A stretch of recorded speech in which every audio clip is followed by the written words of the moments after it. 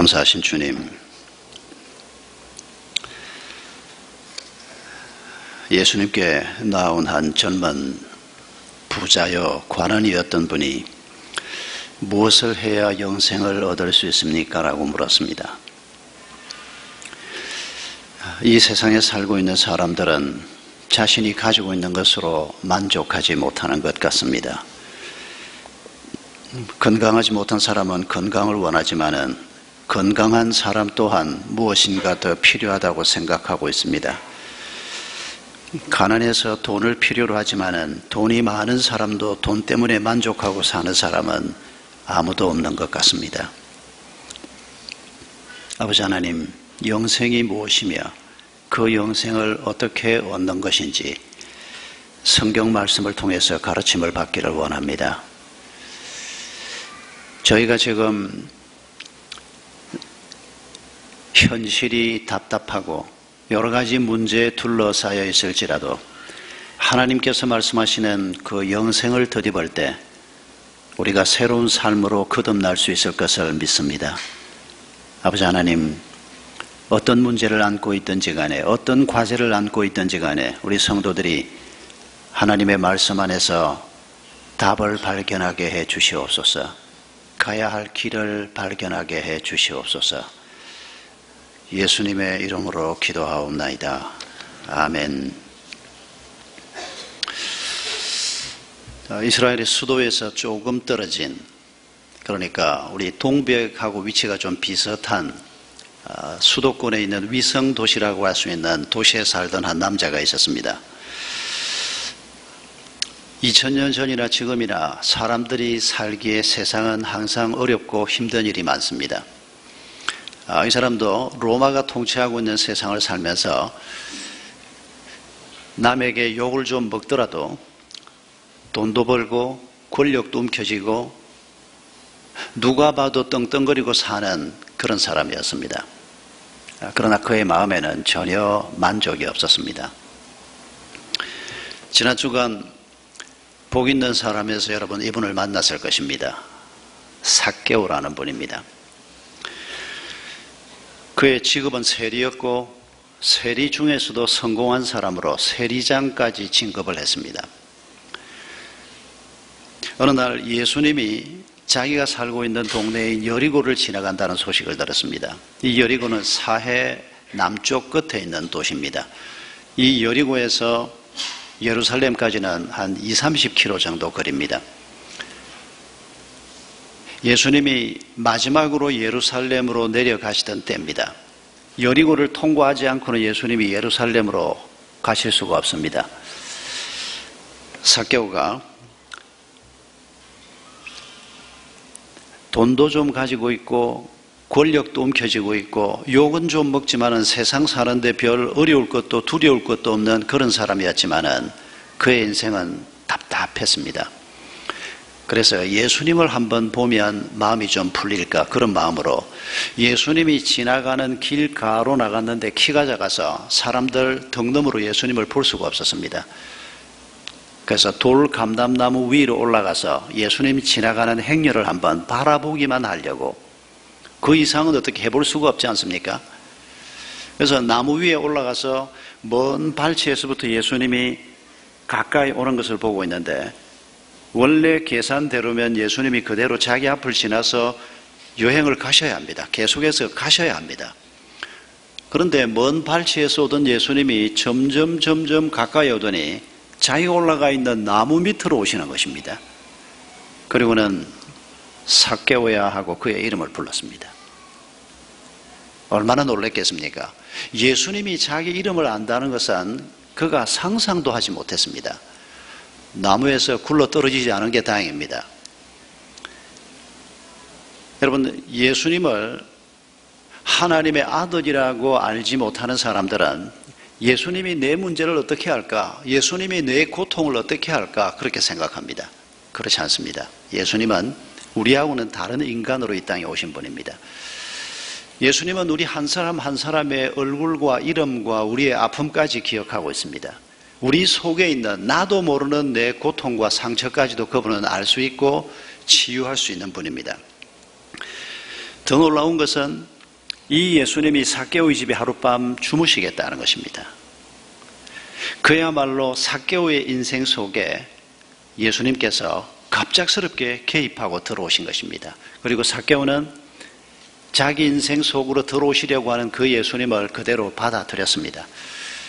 그리고 하룻밤 예수님의 집에 머물렀던 예수님과의 교제를 통해서 그는 오늘 우리 예수님께서 성경 본문에서 말씀하고 있는 영생을 얻은 그리스도인의 삶을 시작하게 되었습니다. 그런데 우리가 오늘 읽은 이 본문에 나오는 부자 청년 관원이었던 이 사람은 예수님에게 친히 나왔습니다.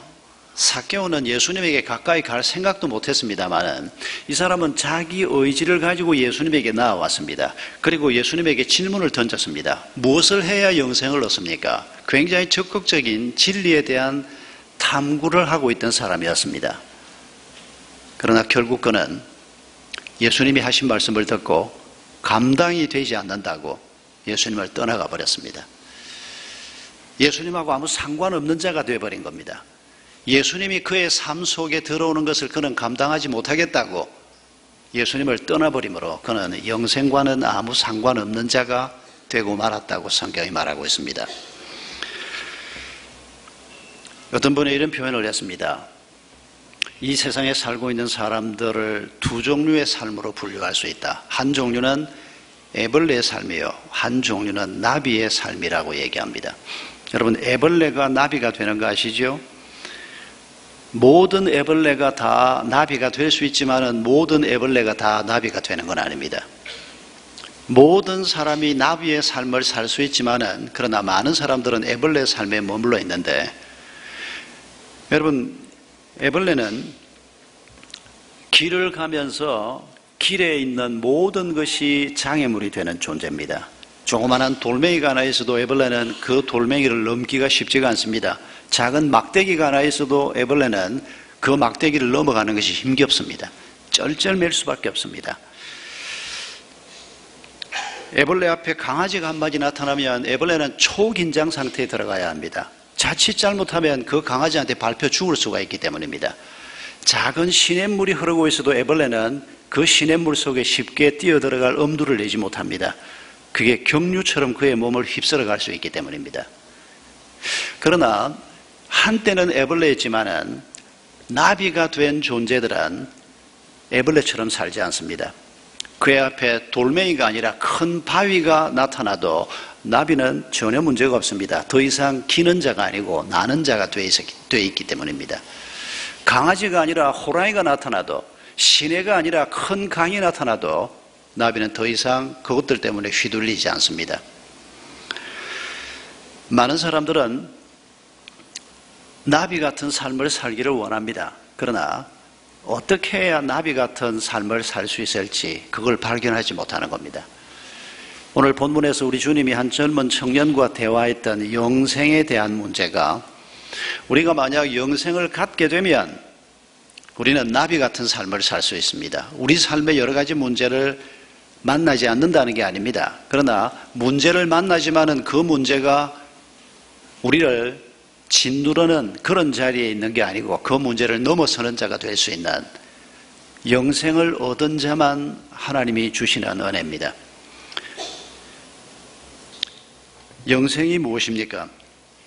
영생이라고 하는 단어 자체는 영원한 생명이라고 하는 뜻입니다. 그러나 시간적으로 단순히 영원히 죽지 않고 의 생명을 보존한다고 해서 그게 영생이라면 아마 그런 거 갖고 싶지 않은 분들이 많을 겁니다. 뭐 병든 몸으로 아니면 상처투성인 이런 마음으로 계속해서 죽지 않고 산다? 그거나 원치 않는다. 그럴 분들이 아마 절대 다수일 겁니다. 예수님이 말씀하시는 영생이 그런 거 아닌 거 잘 아실 겁니다. 그런 정도라고 하면 우리 예수님이 뭘 굳이 영생을 우리에게 주시겠다고 말씀하시겠습니까? 여러분, 인간은 이 세상에 존재하는 모든 인간은 시간적으로 말하면 영생하는 존재입니다. 어디에서 영생하느냐 차이가 있을 뿐입니다. 성경이 그걸 지옥이라고 말하고 천국이라고 얘기합니다만은 지옥에 있더라도 그 생명은 영원히 존재한다고 성경은 말하고 있습니다. 주님이 말씀하시는 영생은 단순히 우리의 육체의 생명이 유지되는 것이다. 그렇게 말씀하지 않습니다. 남들보다 더 많이 가지고 떵떵거리고 사는 그 삶이 영원히 유지되면 그게 성경이 말하는 영생일까요? 아닙니다. 여러분 오늘 본문에서 우리가 보지 않습니까? 사개오도 큰 부자였습니다. 이 젊은 청년도 큰 부자였습니다. 더군다나 이 청년은 사개오도 세리장까지 관직을 가지고 있었습니다만 이 젊은 청년도 관원이라고 얘기하고 있습니다. 여러분 젊고 건강하고 돈 많고 그리고 출세했고 세상 지위 있고 이 정도면 우리가 갖고 싶은 거 다 가지고 있는 사람 아닙니까? 그런데 여러분, 성경이 우리에게 말씀하는 바를 보십시오. 이런 것들을 다 가지고 있는데도 마음이 공허하다는 것입니다. 이런 것들을 다 가지고 있는데도 마음이 텅 비어 있다는 것입니다. 아유, 막 그렇거나 말거나 돈부터 실컷 좀 누리고 써봤으면 좋겠다. 예, 그렇게 되기를 바랍니다. 그러나 여러분, 써봐야 써봐야 더 쓰고 싶고 더 쓰고 싶지 마음이 공허해지지 여기가 채워지는 게 아니라는 걸 반드시 아셔야 합니다. 그걸 모르면 우리는 결국 표류하는 인생을 살고 말 것이기 때문입니다. 여러분, 이런 표현 익숙하시겠지만 다시 한번 나눕시다. 돈으로 책은 살 수 있지만 지혜를 살 수는 없습니다. 돈으로 음식을 살 수는 있지만 건강을 살 수는 없습니다. 돈으로 침대를 살 수는 있지만 숙면을 살 수는 없습니다. 돈으로 사랑하는 사람들을 근사한 곳으로 데리고 갈 수는 있지만 사랑을 살 수는 없습니다. 돈은 소중한 것입니다. 돈을 사랑하지만 않으면, 돈을 숭배하지만 않으면 돈은 소중한 것입니다. 그러나 돈을 너무 과대평가하지 말아야 합니다. 돈만 있으면 지금 이 삶이 영원했으면 좋겠다. 여러분, 그건 아직도 우리가 하나님을 몰랐을 때 더 좋은 게 있다는 걸 몰랐을 때 하는 애 같은 소리라는 것을 기억하십시다. 뭐 돈이나 이런저런 것들보다 더 소중한 가치, 내가 사랑하는 가족이나 내가 좋아하는 사람들과 영원히 살 수 있다면 그게 영생 아닐까? 그런 영생이라면 한번 가져봐도 되지 않을까? 예. 돈 많은 채 영생하겠다는 것보다 조금 격조는 높습니다만은 그러나 여러분 그것도 함정을 잘 파악해야 합니다. 그렇게 좋아서 결혼을 했는데 어떻게 된다고요? 다 경험해 보지 않습니까? 그렇게 사랑하고 좋았던 사람들이 왜 원수처럼 변합니까? 왜 자식 키워봐야 소용없다 그럽니까? 뭐 다 그런 건 아니지 않느냐? 아닙니다, 여러분. 어떤 관계이든지 간에 그 관계 속에 하나님이 계시지 않으면 그게 부부 관계든 부모 자식 관계든 친구 관계든 간에 그 관계는 오래 가지 못합니다. 그 관계는 상처 주는 관계로 변질되고 맙니다. 도대체 영생이 뭔가? 여러분, 그 영생은 오늘 본문에서 결론부터 얘기하면 영원한 생명이긴 하지만은 예수님과 함께하는 생명입니다. 돈과 함께하는 생명이 아니고 하나는 천국 가서도 성경에 뭐 남편도 없고 아내도 없다 그러는데 나는 그런 천국 같으면 가기가 좀 부담된다. 어떤 부인이 그러더라고요. 이 남자가 천국 가서 내 남편이 아니라면 어, 나는 그런 천국 가기가 좀 부담이 됩니다.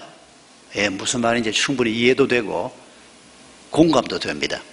그러나 여러분, 우리가 천국을 지금 내가 가지고 있는 좋은 것들을 누리는 그런 정도로만 생각하지 말고 그것보다 훨씬 더 좋은 것들이 훨씬 더 확대돼서 이를테면 내가 지금 뭐 부부 관계가 괜찮고 내 자식들과의 관계가 괜찮고 부모님들과의 관계가 괜찮고 좋은 친구들도 있고 어, 이런 것들이 천국 가서 없어진다고 하면 나는 그런 천국은 가고 싶지 않다. 예, 저도 그런 천국 가고 싶지 않습니다.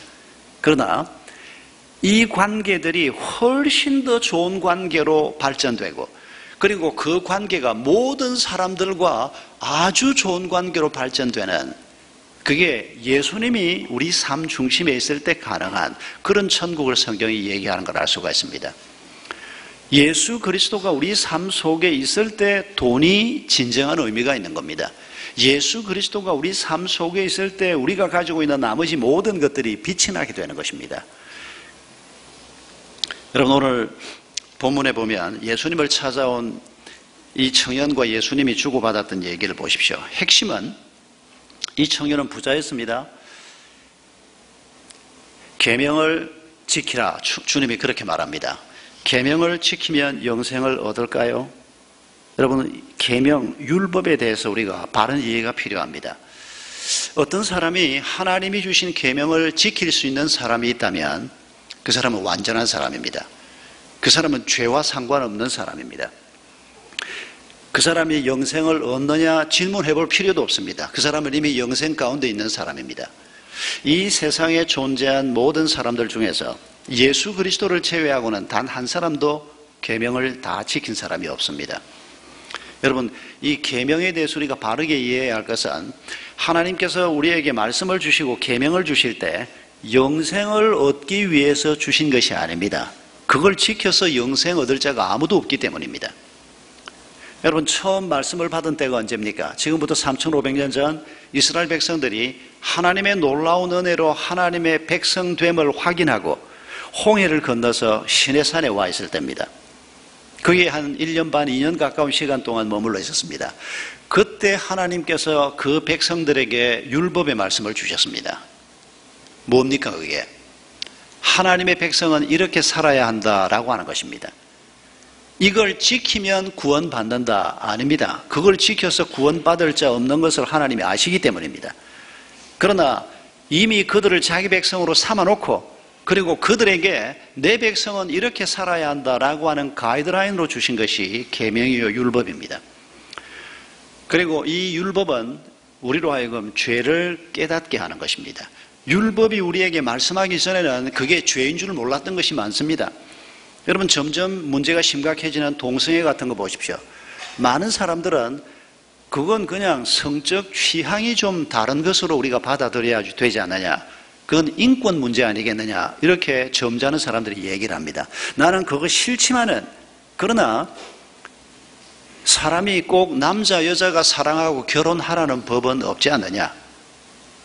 많은 사람들이 이렇게 생각해서 지금 동성애가 법으로 정해지고 있고 그래서 동성애를 비판하는 것이 허용되지 않고 아이들, 초등학생, 유치원 아이들에게 남자 엄마가 있을 수 있고 여자 아빠가 있을 수 있고 그건 잘못된 것이 아니고 그렇게 사는 것도 정상적인 삶 중의 하나다. 이렇게 가르치는 일이 지금 곳곳에서 벌어지고 있습니다. 우리나라에도 이렇게 법을 개정하기 위해서 열심히 애를 쓰고 있는 분들이 있습니다. 아닙니다. 안타깝게도 그건 아닙니다. 남자 엄마가 있을 수 있고 여자 아빠가 있을 수 있다. 성경은 그걸 죄라고 규정합니다. 할 수 있는 것 있습니다.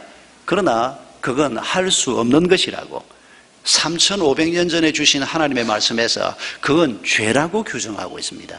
만약 성경이 그렇게 죄라고 말씀하지 않으면 누군들 그렇게 생각하지 않겠습니까? 뭐 선천적으로건 후천적으로건 취향 따라서건 어, 그런 취향을 가진 사람, 그래서 내가 좋아하는 남자가 남자하고 결혼해서 가정을 꾸릴 수도 있고 애는 입양하면 되고 성경은 그걸 죄라고 규정합니다. 아마 이제 좀 더 지나면 그런 법을 제정하려고 하는 사람도 있을 겁니다. 나는 인간들은 다 꼬리 베기 싫고 내가 좋아하는 고양이하고 결혼해서 살겠다. 뭐 고양이하고 살면 되지 그래. 그러나 이 고양이를 내 마누라로 삼고 싶다. 법적으로 등록도 하고 싶다. 여러분 두고 보십시오. 이런 일이 안 벌어지나? 그러나 여러분 성경은 그건 죄다. 그건 옳은 것이다. 우리에게 이렇게 죄를 깨닫게 하는 역할을 합니다. 그리고 아울러서 율법과 계명이라고 불리우는 이 하나님의 말씀은 대문 빗장 역할을 합니다.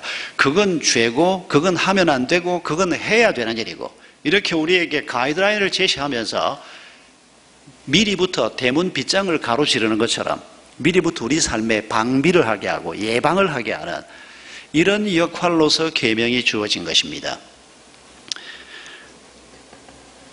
이 청년은 말하기를 예수님께서 계명을 지켰느냐? 예, 내가 어려서부터 다 지켰습니다. 그렇게 말합니다.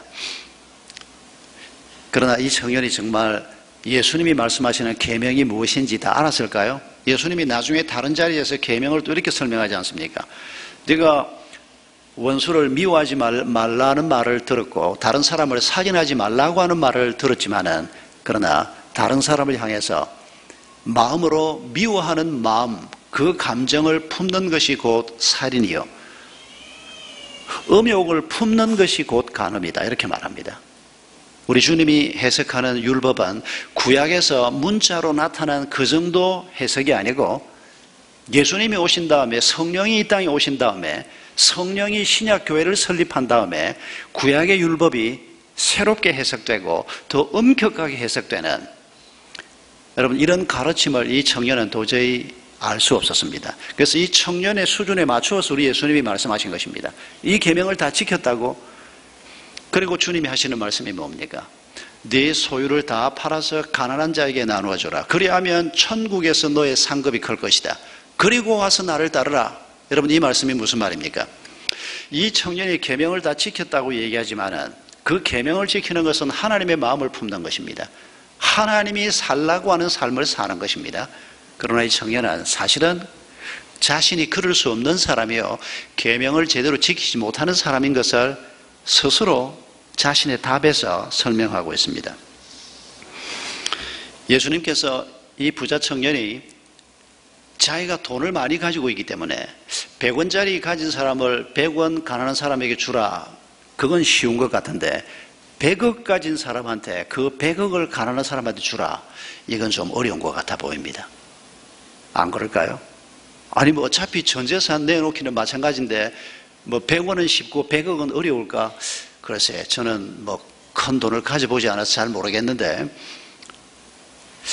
둘 다 뭐 일리는 있는 것 같은데 그러나 큰 돈 가진 사람이 다 내놓기가 더 어렵지 않을까 싶은 생각은 듭니다.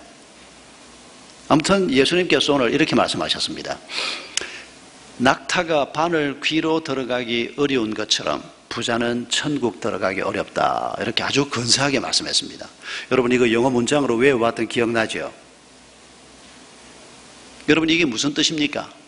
간단하게 말하면 낙타가 바늘 귀로 들어가지 못하는 것처럼 부자는 천국 못 들어간다. 이렇게 얘기한 겁니다. 오늘 여기에 부자가 아무도 없기를 바랍니다. 부자는 천국 못 들어갑니다. 부자 되려고 하지 마십시오. 이게 얼마나 놀라운 말이었던지 제자들이 깜짝 놀랐습니다. 아니, 부자가 천국 못 들어가다니. 혹시 이런 질문 안 했는지 모르겠습니다. 가난뱅이가 그러면 천국 들어간단 말입니까? 가난뱅이도 못 들어갑니다. 가난하다는 이유로 못 들어갑니다.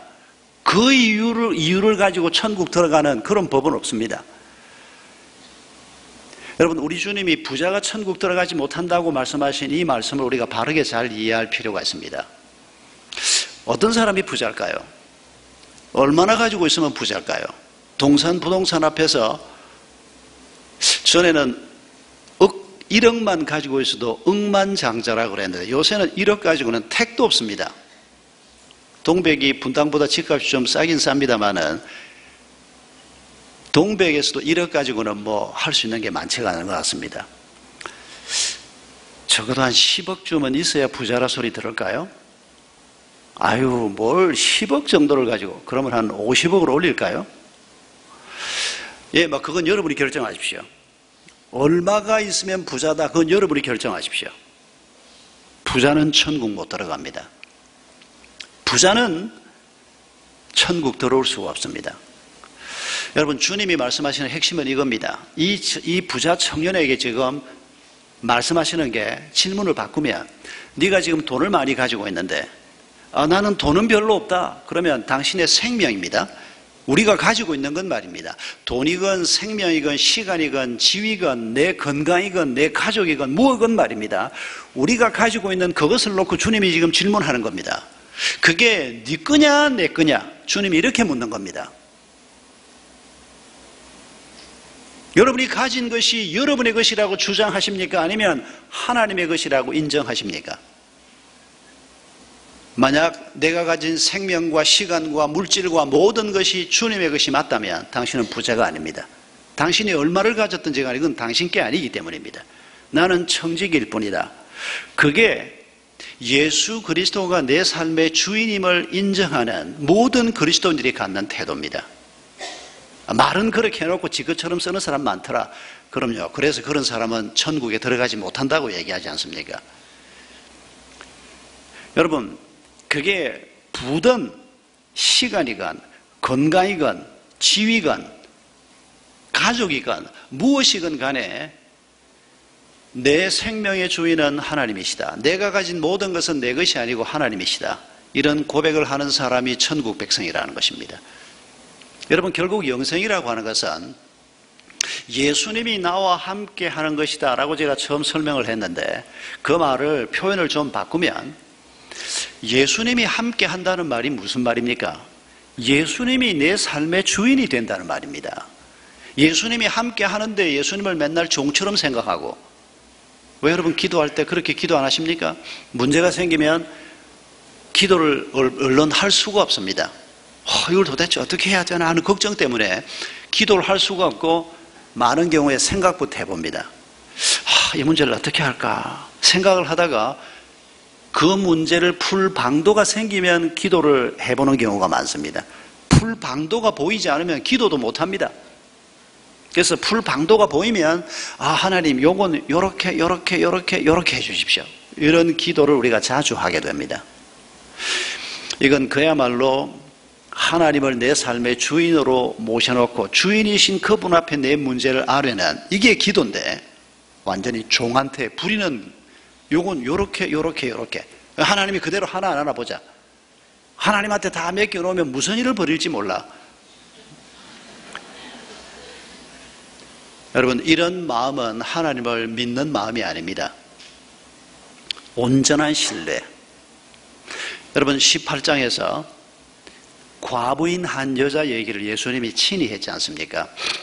불의한 재판관과 이 여자 사이에서 벌어지는 일을 예수님이 얘기하셨는데 이 여자를 칭찬할 때 예수님이 뭐라고 칭찬합니까? 세상에 이 여자가 가지고 있는 이런 믿음을 보겠느냐라고 그 여자의 믿음을 칭찬하셨습니다. 아니 그 여자가 뇌물 줄 돈도 없고 뭐 사람들 아름아름으로 해서 그 불의한 재판관 판사한테 어떻게 해볼 길이 없으니까 계속 찾아가서 도와주세요 도와주세요 한 것밖에 없는데 차라리 칭찬을 한다면 이 여자가 가지고 있는 끈질김 이 여자가 가지고 있는 성실함 이걸 칭찬을 해야 될 텐데 그걸 칭찬하지 않고 그 믿음을 보겠느냐? 우리 번역에는 그라고 하는 정관사를 빼고 믿음으로 주로 번역을 했습니다마는 인자가 올 때 이 믿음을 보겠느냐? 그게 무슨 말입니까 여러분? 이 여자가 성실한 이유가 뭐냐 그 말입니다. 하나님이 살아계심을 믿기 때문입니다. 저 악한 재판관이 내가 열심히 하면 지성이면 감천이라고 저 사람이 마음을 굽힐 것이다. 그렇게 생각하는 사람은 하나님하고 상관없이 자기 노력으로 인생을 살겠다는 사람입니다. 그러나 이 여자는 하나님의 백성입니다. 영생을 가지고 있는 백성입니다. 이 여자가 이렇게 성실한 이유가 뭐냐? 지성이면 감천이 아니고 하나님이 살아계시기 때문에 하나님께서 내 원한을 풀어주시리라. 하나님께서 내게 의를 행할 것이라. 믿음 때문이라고 주님이 말하고 있습니다. 우리 주님이 내 삶의 주인이심을 믿고 그분과 동행하는 바로 그걸 영생이라고 오늘 본문이 말씀하고 있는 것입니다. 주님이 나와 동행하는 방식이 있습니다. 그것은 주님의 말씀의 통치입니다. 여러분, 요한복음 15장 7절에서 너희가 내 안에 거하고 내 말이 너희 안에 거하면 무엇이든지 원하는 대로 구하라. 그리하면 이루리라. 여러분 놀라운 약속의 말씀입니다. 내가 기도하면 모든 것이 이루어진다. 이것이 약속의 핵심입니다. 그런데 조건이 붙어 있습니다. 그게 뭡니까? 너희가 내 안에 거하고 내가 너희 안에 내 말이 너희 안에 거하면 내가 너희 안에 거하면이라고 주님이 말씀하지 않고 내 말이 너희 안에 거하면이라고 말씀하는데 주의를 기울여야 합니다. 아, 주님이 한번 보고 싶어서 그냥 주님 내 꿈이라도 한번 나타나 주십시오. 주님을 내가 꿈에서라도 한번 보면 내 신앙 생활이 달라질 것 같습니다. 그런 기도를 10년씩 해온 권사님이 있었습니다. 근데 주님도 한번 보여주시지 그걸 기어이 안 보여주십니다.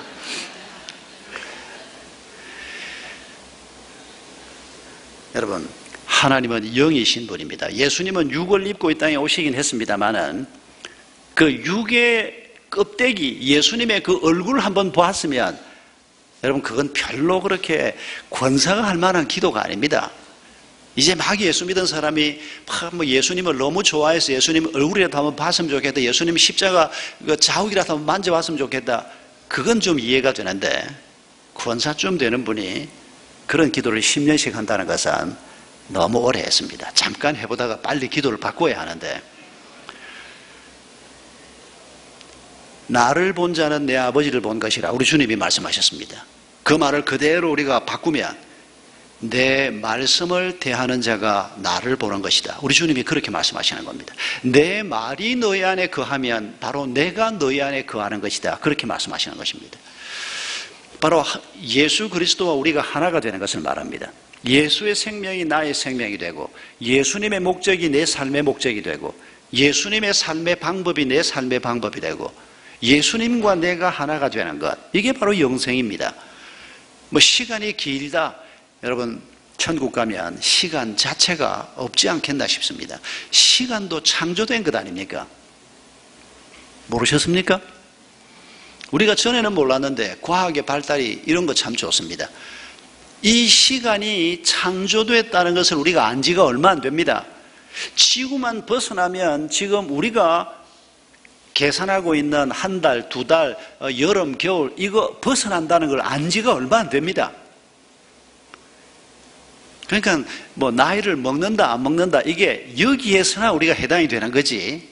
주님이 우리를 어디로 데리고 갈지 모르지만 우리를 주님이 데리고 와서 살 그 영원한 거기 가면 머리가 빠지는 것도 없고 주름 지는 것도 없고 전혀 다른 세상이 우리 앞에 기다리고 있습니다. 그러나 그 모든 것들 중에서 핵심은 우리 주님이 거기에 계신다는 것이 핵심입니다. 그리고 우리가 여기에서부터 이 영생을 누리면서 산다는 것이 핵심입니다. 하나님의 말씀의 통치를 받기 시작할 때 영생은 시작되는 겁니다. 그래서 내가 성경이 말씀한 대로 내가 죄인인 것을 인정할 때 우리는 말씀의 통치를 받기 시작하는 겁니다. 너의 죄값을 위해서 예수 그리스도가 죽었다. 그 말씀을 받아들일 때 우리는 영생을 누리기 시작하는 것입니다. 예수 그리스도의 부활이 죽음을 이기는 부활이요. 예수를 믿는 모든 자도 죽음을 이길 수 있다. 죄를 이길 수 있다. 우리가 그 말씀을 믿을 때 예수 그리스도가 사개오의 삶 속에 들어오는 것처럼 우리 삶 속에 들어오시게 되는 것입니다. 그리고 그 주님이 말씀할 때 우리가 그 말씀을 잘 듣고 그 말씀의 통치를 온전히 받으면 받을수록 우리 속에 영생은 가득 채워지고 예수 그리스도의 생명은 가득 채워지는 것입니다. 그러나 아직은 완전하지는 못합니다. 하나님의 나라가 이미 임했습니다. 영생이 이미 우리 가운데 임했습니다. 그러나 아직 완전히 임하지는 않았습니다. 우리가 육체의 죽음을 통과해서 영원한 그 나라에 들어갈 때 완전히 말씀의 통치가 이루어지고 완전히 우리 앞에 새로운 삶이 시작될 것입니다. 여러분, 우리가 이렇게 하나님의 말씀을 붙들고 영생을 이 땅에서부터 누리고 살려고 나아가는데 중요한 장애물이 하나 있습니다. 누가복음 18장에서 바로 불의한 재판관을 만난 과부 얘기를 통해서 주님이 우리에게 교훈하시는 것입니다. 여러분 이 불의한 이 불의한 재판관을 만난 과부는 아무것도 없습니다. 과부란 말은 아무것도 없는 사람이라고 하는 뜻으로 생각하면 됩니다. 요즘 과부는 뭐 남편은 없지만은 옛날 과부하고 법적인 지위가 전혀 다르고 사회적인 지위도 다릅니다. 요새는 과부라고 해서 무조건 약자라고 보기는 어렵습니다. 그런데 교회를 과부라고 말하고 있습니다. 성도를 과부라고 말하고 있습니다. 여러분 이 점에 주의해야 합니다. 아니 그 불의한 재판관 돈만 갖다 주면 얼마든지 내가 원하는 대로 판결을 해주는 그런 판사 하나쯤 내가 해결할 수 있어. 그 사람은 과부 아닙니다. 그 사람은 그리스도인이 아니라 그 말입니다. 하나님을 의지하면서 하나님의 정의가 실현되는 것을 끈질기게 기다리고 있던 이 여자, 이 여자를 두고 우리 주님께서 돈으로 그 일을 행하려고 하는 것이 아니고 아름아름으로 내가 저 사람을 어떻게 해서든지 좀 찔러서 어떻게 해결을 해보겠다 이런 인간적인 방법이 아니고 신실하신 하나님을 바라보고 끈덕지게 이 불의한 재판관을 선한 방법으로 끈덕지게 나아가는 이 여자를 두고 이런 믿음을 보겠느냐라고 말씀하시면서 낙심하지 말아야 한다라고 주님이 말씀하고 있습니다. 여러분 지난 한 주간도 무엇 때문에 낙심하셨습니까? 우리가 작은 일 앞에도 쉽게 낙심하지 않습니까? 우리가 뭐 조금 뭘 배우고 믿음도 좀 있고 믿음으로 살려고 애도 쓰고 하지만은 우리 앞에 펼쳐져 있는 세상은 이 불의한 재판관처럼 말입니다. 권력 있는 자가 힘 있는 자들이 똑똑하다고 하는 자들이 우리의 길을 방해하고 특히 하나님의 말씀을 따라 살려고 하는 사람들을 회방하는 일들을 수도 없이 경험합니다. 요즘 우리 사회에 문제가 되고 있는 것들 보십시오. 불의한 자들, 뭐, 뭐, 유병헌 사건에도 유병헌도 불의한 자지만은 유병헌의 뒤에서 이 불의한 자를 도왔던 사람들이 도대체 누구냐? 세월호 사건이 지금 바로 그게 핵심 아니겠습니까? 윤일병 사건이 지금 벌어지고 있습니다. 군대 갔다 온 남자들은 다 압니다. 옛날에 이보다 훨씬 심했습니다. 그런데 이제 세상이 좋아졌습니다. 여러분, 윤일병 사건을 두고 너무 젊은 엄마들이 가슴 아파하지 마십시오. 옛날에는 다 그렇게 맞았습니다. 그런데 요새는 맨 놈만 그렇게 맞습니다. 뭐, 뭐, 군에서 뭐, 줄 받다 맞고 그냥 뭐, 뭐, 팬티하고 살이 막 엉겨 붙고 이런 경험 안 한 군대 갔다 온 사람들이 아마 70년대, 80년대 초반까지만 해도 뭐 없었을 겁니다. 그런데 이제 점점, 점점 좋아졌는데 그래도 지금 군대 저런 악한 일들이 남아 있습니다. 불의한 자들이 남아 있는 겁니다. 그런데 그 불의한 자들이 뭐 하사관도 아니고 장교도 아니고 같은 쫄병으로 들어와 가지고 참 이게 기가 막힙니다. 걔들도 사실은 불쌍한 아이들입니다. 뭐 쫄병 때 그냥 탁 맞고 그냥 그렇게 살다가 못된 시어머니 밑에 못된 며느리가 결국 또 나중에 똑같은 시어머니 된다고 지금 군에서도 반복되고 있는 게 이겁니다. 듣고 보는 게 없습니다. 자기 상처가 있기 때문에 자기 문제를 극복하지 못한 채 자기 밑에 아이가 들어오면 그 아이를 자기 장난감처럼 생각을 합니다. 군대가 또 그걸 뒷받침을 합니다. 여러분, 우리가 자식을 키우면서 또 우리가 살고 있는 회사건 아파트건 어디에서든지 간에 이런 불의한 일들이 계속해서 벌어지고 있습니다. 낙심하지 않는 것이 영생을 얻은 자가 가져야 할 중요한 덕목입니다. 낙심하지 않는 것이 우리의 중요한 믿음의 덕목입니다. 여러분, 우리가 살면서 쉽게 세상이 악하기 때문에 낙심하고, 우리가 연약하기 때문에 낙심하고, 또 때로는 우리가 필요한 구체적인 것들, 작은 것들이지만 내 삶에 필요한 실제적인 것들이 응답되지 않아서 낙심하는 경우가 참 많습니다. 세계 평화는 뭐 어떻게 될지 모르겠습니다. 뭐 이라크의 공습도 가슴이 아프고 팔레스틴 가자 지구에 또 이스라엘이 공습을 한다는 것도 마음이 아프지만은 당장 내 아이가 아픕니다 지금. 당장 지금 집세가 모자라서 더 멀리 이사를 가야 합니다. 이런 현실적인 문제 때문에 우리가 낙심하지 않을 수가 없습니다. 너나 할 것 없이 이런 현실적인 필요 앞에서 우리가 바른 판단을 할 필요가 있습니다. 여러분 하나님을 우리가 신뢰하면서 그리고 그 하나님께서 신실하신 분인 것을 우리가 믿을 때 그저 세계 평화를 이루어 주시는 하나님 하나님의 나라를 세워 가시는 하나님 이런 하나님으로만 우리가 생각하는 것이 아니고 여기 연약한 한 과부의 원한을 풀어 주시는 하나님 내용은 뭔지 모르겠습니다. 이 여자가 어떤 불의한 일을 당했는지 모르겠습니다. 그러나 판사가 이 여자에게 불리한 판결을 한 겁니다. 뭐 아들을 종으로 빼앗아가는 판결을 했는지 아니면 뭐 고구마만한 집 하나 가지고 있었는데 그 집을 누구한테 넘기는 판결을 했는지 어쨌거나 이 여성이 불의한 판결을 받은 겁니다. 이 정의를 행해달라. 뭐 이 여자가 이스라엘의 독립을 위해서 나섰겠습니까? 이 여자가 무슨 뭐 세계 평화를 위해서 나섰겠습니까? 여러분 하나님이 우리를 돌보실 때 세밀히 돌보시는 우리의 작은 일 하나에 관심을 갖는 이런 하나님의 섭리와 손길을 기억하는 것이 낙심치 않는 믿음을 갖는데 영생을 얻은 그리스도인의 삶을 사는데 아주 필요한 일입니다.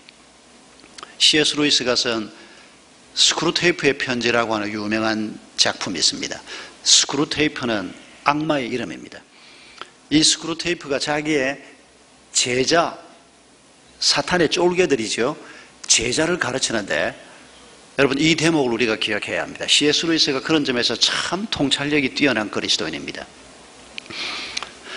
어떤 믿음으로 살려고 해서는 청년이 있는데 이 청년에게 예수를 믿지 말라 이건 먹혀 들어가지 않을 거다. 그렇게 하기는 쉽지 않으니까 너무 욕심내지 말고 이 청년에게 예수 못 믿게 하기 전에 작은 것부터 공격을 해라. 그게 뭔고 하니까 이 청년이 나라를 위해서 기도하게 하고 교회를 위해서 기도하지만은 자기 어머니의 관절염을 위해서는 기도하는 것이 이게 너무 째째하다는 생각이 들게 하고 그건 하나님 앞에 죄송하다는 생각이 들게 해라. 여러분 스크루테이프가 자기의 제자 워무드에게 그렇게 가르칩니다. 여러분 이런 생각 안 들었습니까? 우리 어떤 집사님 그러더라고요. 하나님 앞에 기도하면 늘뭐 자식 위해서 기도하고 남편 위해서 기도하고 친정 위해서 기도하고 그러고 나중에 생각이 나서 목사님 위해서 기도하고 이게 늘 미안해서 어느 날은 기도를 바꿨대요.